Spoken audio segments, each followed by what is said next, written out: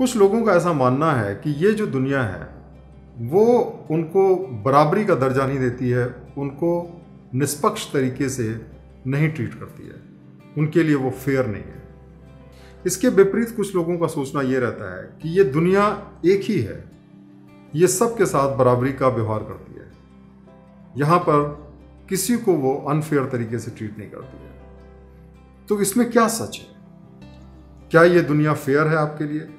या सबके लिए, या क्या ये दुनिया अनफेयर है? तो देखिए, इसको समझने के लिए हम कल्पना करते हैं एक लड़की की जो बहुत ही खूबसूरत है। अब ये जो लड़की है, जब पैदा होती तभी से इसको लोग बहुत प्यार करते हैं, पसंद करते हैं। स्कूल में भी इसको बहुत टीचर्स पसंद करते हैं, इसके फ्रेंड्स पसंद करते हैं।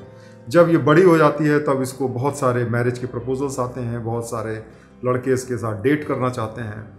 और इसकी ज़िंदगी जो है बहुत स्मूथली चलती है, इसको लाइफ में कोई प्रॉब्लम नहीं होती है। अब ये जो लड़की का परसेप्शन है इस दुनिया के लिए, वो तो यही होगा कि दुनिया जो है बहुत अच्छी है, क्योंकि उसके साथ में दुनिया बहुत अच्छी है। लेकिन अगर हम एक दूसरी लड़की की कल्पना करें, जो कि सुंदर नहीं है, बल्कि वो बदसूरत है तो आप देखेंगे कि इस लड़की को बचपन से ही अलग टाइप का ट्रीटमेंट मिलता है।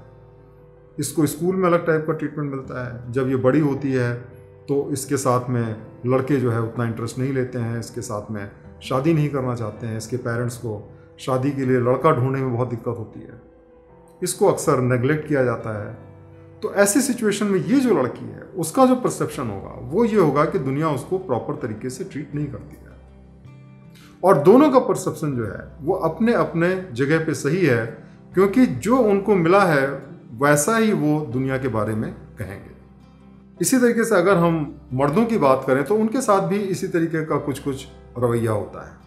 कुछ लोग ऐसे होते हैं जो बहुत ज़्यादा इंटेलिजेंट होते हैं, बहुत ज़्यादा समझदार होते हैं, चीज़ों को बहुत आसानी से समझ लेते हैं, बहुत अच्छा स्कोर करते हैं एग्जामिनेशन में, अच्छे जॉब्स पा जाते हैं और अच्छी लाइफ व्यतीत करते हैं।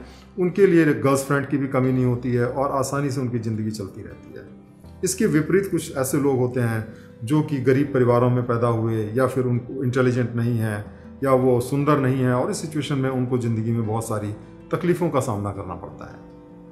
अब इसमें तो किसी भी व्यक्ति की कोई गलती नहीं है कि वो किस परिवार में पैदा हुआ, उसके क्या लुक्स हैं अपियरेंस है पेरेंट उसके कौन है, इन सब चीज़ों पे तो किसी भी व्यक्ति का अधिकार नहीं होता। लेकिन उसके बावजूद उसको दुनिया अलग तरीके से ट्रीट करती है। इसलिए ये सोचना सही है कि ये दुनिया सबको बराबर तरीके से ट्रीट नहीं करती है, ये दुनिया फेयर नहीं है। और अगर आप उस कैटेगरी में हैं जब आप ये महसूस करते हैं कि दुनिया आपके साथ फेयर है तो आपको उस कैटेगरी के बारे में भी सोचना चाहिए जिसके साथ ये दुनिया फेयर नहीं है। तो जब हमें दुनिया अच्छे तरीके से ट्रीट करती है तो हमें दुनिया का धन्यवाद देना चाहिए। लेकिन जब हमें अच्छे तरीके से ट्रीट नहीं करती है तो हमें ये भी समझना चाहिए कि ये दुनिया इसी तरीके की है और वो ऐसे ही बिहेव करती है। तो हम क्या करें अगर दुनिया जो है हमें फेयर तरीके से ट्रीट नहीं करती? तो देखिए, ये जो दुनिया का रवैया है, इसको हम बदल नहीं सकते ये दुनिया जैसी है, वैसी ही रहेगी। और बेटर ये रहेगा कि हम उसको वैसे ही एक्सेप्ट करें जैसी की है। लेकिन दोस्तों, जो नेचर है, वो इस तरीके से नहीं है कि किसी एक व्यक्ति को उसने सब हुनर और सारी अच्छी चीज़ें दे दी हैं। उसने हम में से हर एक व्यक्ति को कुछ ना कुछ अच्छा दिया हुआ है। और ज़रूरत इस बात की है कि हम उस अच्छाई को तलाश करें और उसको हम डेवलप करें। जैसे अगर आप अब्राहम लिंकन की बात करें तो वो अपने ज़माने के सबसे बदसूरत लोगों में कहे जाते थे। लेकिन उसके बावजूद वो अमेरिका के राष्ट्रपति बने और सबसे बेहतरीन राष्ट्रपति में उनकी गणना की जाती है। ऐसे बहुत सारे एक्टर्स हैं, बहुत सारे लीडर्स हैं, बहुत सारे साइंटिस्ट हैं, जो कि अपनी कमियों के बावजूद बहुत ऊंचाई तक पहुँचे तो ज़रूरत इस बात की है कि हम ये शिकायत करना बंद करें कि दुनिया हमारे साथ फेयर नहीं है क्योंकि कुछ लोगों को हमसे बेहतर ट्रीटमेंट देती है। बल्कि इस बात की ज़्यादा हम चेष्टा करें कि जो हमारे अंदर क्वालिटीज़ हैं, उनको हम डेवलप करें, उनको नर्चर करें, ताकि हम दुनिया को कुछ दे पाएँ।